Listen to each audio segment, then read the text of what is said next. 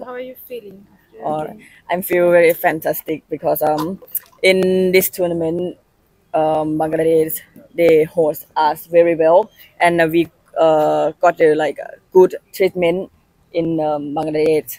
So good experience for Thailand team and me also. So impressed. So how's the team spirit going?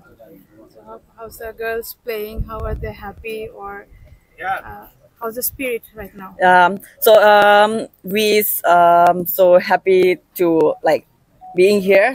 And um, in this tournament very challenge us to um, improve ourselves. And um, more game we want to like looking to win the game. So we having fun here. Okay, so last year uh, there was a situation you couldn't play in the World Cup qualifiers due to rain. So Bangladesh was uh, able able to play for the ranking. Do you think it's a revenge of nature or something like that?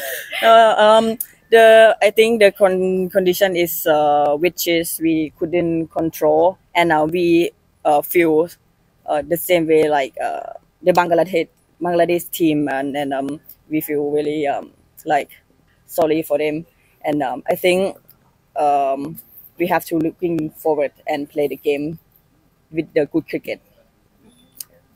Uh, say something about uh, Pakistan match. You, Yes. know, you, you played a crucial knock uh, there.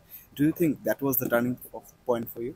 Um, yes, exactly because um, uh, they there is a good team. I think Pakistan is a good team, and um, we play with the joyful and um, enjoy the cricket. So just just that's it. How for is um, Sylhet?